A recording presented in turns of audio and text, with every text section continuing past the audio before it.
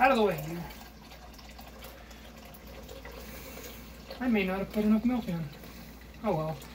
Oh my god.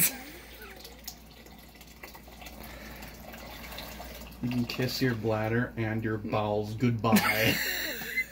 Well, keep in mind, this is gonna last me all fucking night, and Halfway through tomorrow. yeah.